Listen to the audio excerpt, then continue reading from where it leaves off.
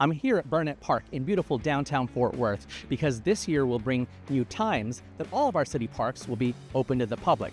Court in the Community is taking place this weekend, and it's a salute to Cowtown for the Tarrant County Veterans Day Parade. I'm Reyne Telles. This is where the news begins. Starting January 1st, Fort Worth parks will close a little earlier, now from 5 a.m. to 10 p.m. across the board. This brings consistency, aligning all parks with the hours of the Trinity River Trail. Several residents have voiced a preference for an earlier closing time, and the Fort Worth Police Department is on board too. Just remember, rentals and other special events will not be affected. Got an outstanding citation?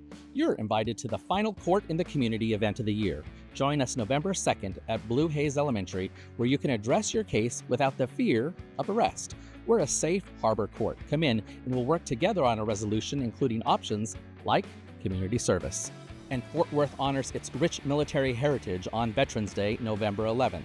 The Tarrant County Veterans Parade starts at 11 a.m. at Panther Island Pavilion, celebrating our veterans with this year's theme, Saluting Cowtown, from frontier soldiers to space frontiers and more. Join us to honor those who have served as we celebrate Fort Worth's legacy and its veterans.